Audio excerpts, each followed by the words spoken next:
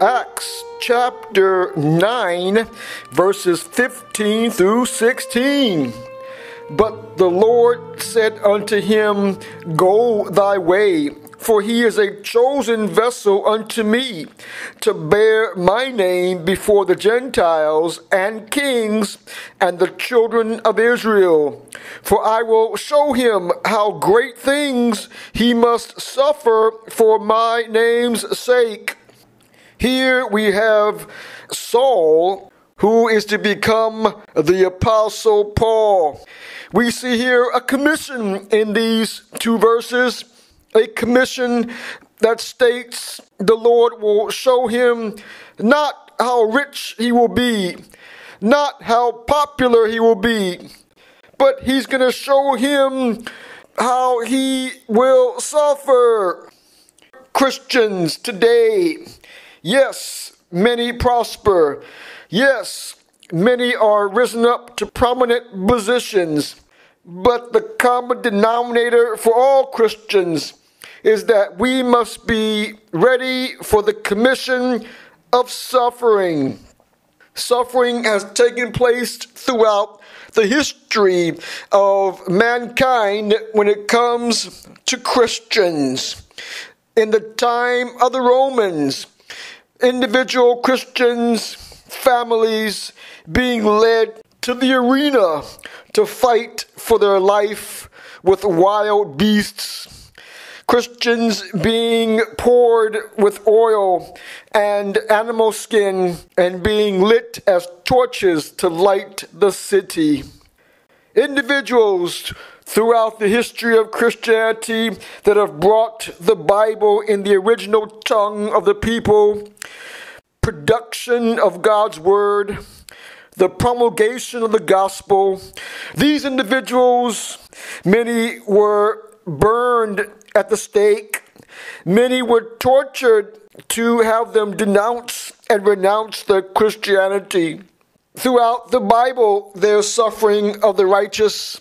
Scripture states in Acts chapter 14, verse 22, that we must, through much tribulation, enter into the kingdom of God.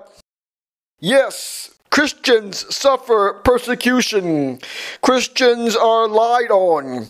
Christians are falsely accused, mocked, scorned, ridiculed. All these persecutions coming from the enemy to cause us to buckle and renounce our faith in Christ. Suffering, on the other hand, comes to make us stronger in the Lord. Scripture teaches that tribulation worketh patience. Persecution and tribulation should not cause us to give in and give up our faith.